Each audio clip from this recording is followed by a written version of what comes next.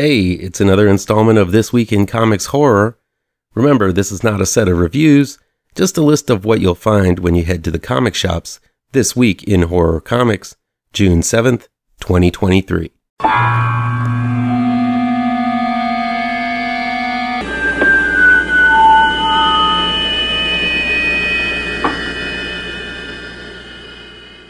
Welcome back to ML Miller Frights.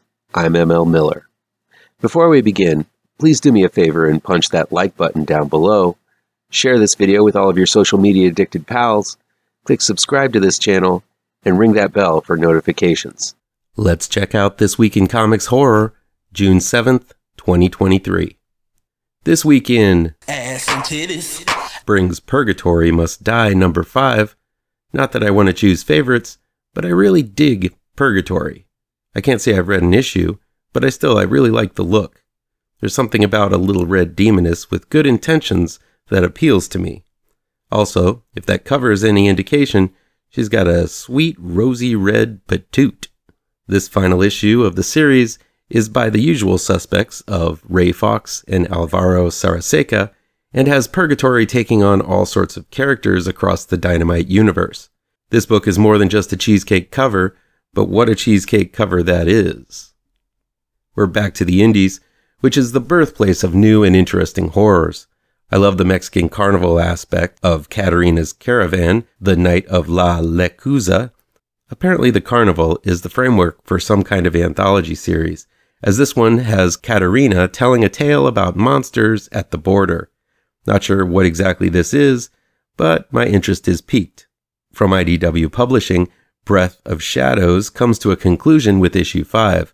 This has been a trippy little story about a rock band in search of meaning and inspiration, and they try to find it in the middle of a treacherous jungle.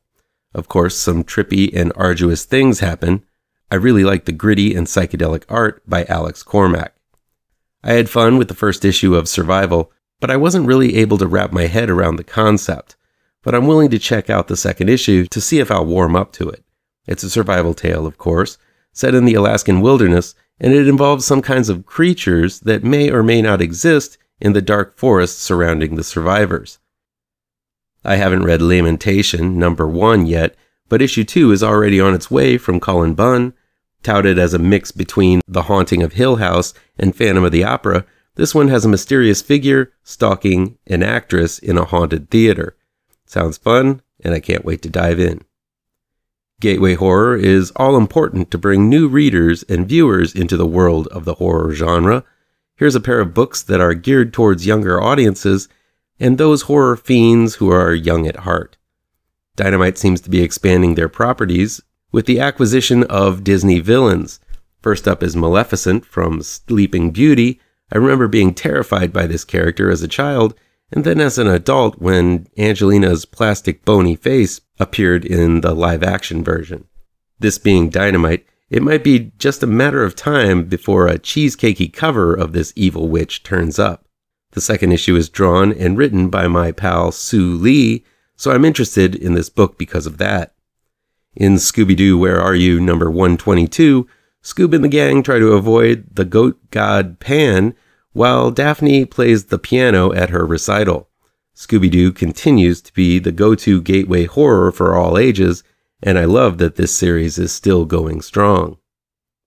Image Comics does horror right. Here's a half dozen books proving just that. Issue number 9 of I Hate This Place seems to be the next to last issue, or I believe that's what Pentultimate means, as our new landowners face down the curse of the Wendigo. Lots of fun imagery and story beats in this series. Ooh, The Walking Dead Deluxe number 64 from Skybound is the cannibal issue. I remember this one being especially horrifying, and while the series got weepy and too introspective from time to time, this one let people know that it still had a lot of bite to it. It's from the usual team of Kirkman and Adlard. In Spawn number 342, Spawn does spawny things in spawny ways. I don't read this title, but many do, so there it is. Looks like In Hell We Fight is about a trio of evil teens and their pet demon going to hell to cause all kinds of reckless mayhem. Sounds like a really fun premise from Choose, John Layman, and a new artist named Jock, spelled J O K. not Jacques, who's a totally different artist altogether. I'm looking forward to checking out this new horror series. Issue 5 of Blood Tree brings forth another chapter in this serial killer police procedural. The plot definitely thickened as the modus operandi of the killer is revealed in the last issue, with bodies falling from buildings with angel wings grafted to their backs. The cops have been scrambling to find out who the killer is before the next murder. But now that they know who it is and who the next victim will be, it's a race against time to stop him. Really tense goodness coming from Tomasi and Simic here.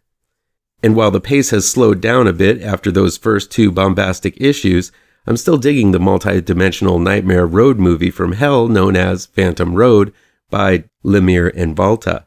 Issue number 4 promises to reveal just what it is the truck is hauling and why it's so important to our road-weary travelers' fates. Finally, here's a book I'm looking forward to the most this week. Yep, my favorite book on the list is about a ratty cat with sideways eyes that just won't die. Hairball is a truly horrifying series from Matt Kindt and Tyler Jenkins about a cat that just might be a malevolent entity, which is pretty much an oxymoron sometimes if you're like me and have a cat yourself. Reminiscent of Cat's Eye and other catty horrors that tap into the mysterious nature of our feline friends, so far it's been a truly excellent read. Well, that's 14 comics on the shelves this week in the genre of horror. Surely there's something in there that you'll find worth your time and money. Let me know which ones look good to you down in the comments. Sweet rosy red patoot.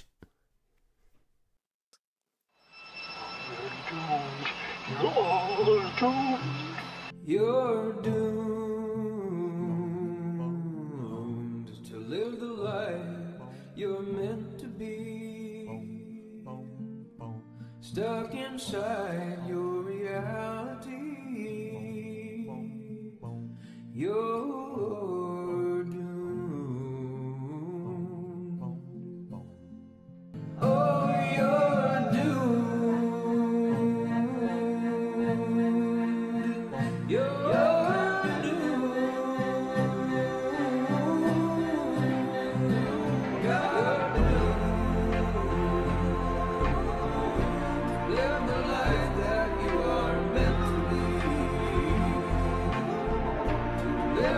Yeah.